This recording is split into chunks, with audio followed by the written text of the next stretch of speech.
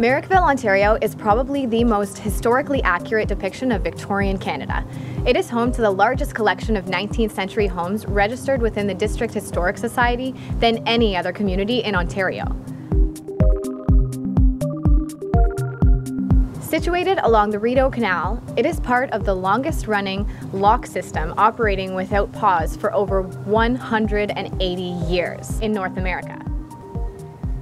Tourism is what drives the Merrickville economy, to which there is more than enough to see and do in this quaint village of over 2,500 people.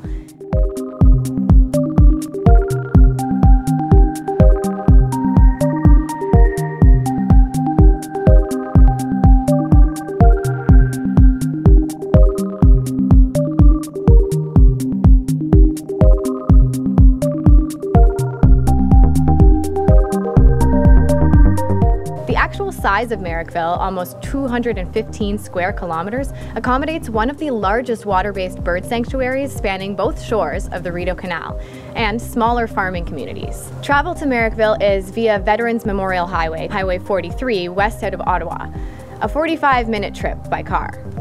The attractions are the annual Jazz Fest, the bed and breakfast accommodations, the Blockhouse Museum, the many specialty shops and restaurants, and numerous art studios and galleries. In fact, several of the artists live and work in the rural countryside surrounding the village.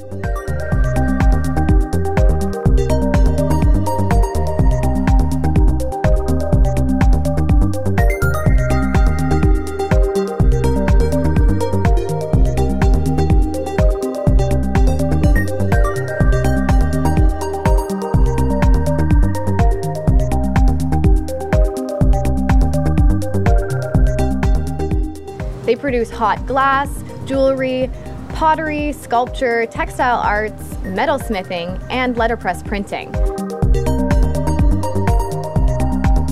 For the outdoor enthusiasts, and depending on the time of the year, there is boating, canoeing and kayaking, fishing, cycling, bird watching, skating, snowmobiling, and cross-country snowshoeing and skiing.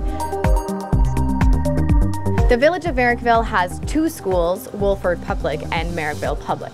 If you are searching for a home in a community that offers the laid-back lifestyle, a rural and historic setting, then Merrickville has exactly what you're looking for.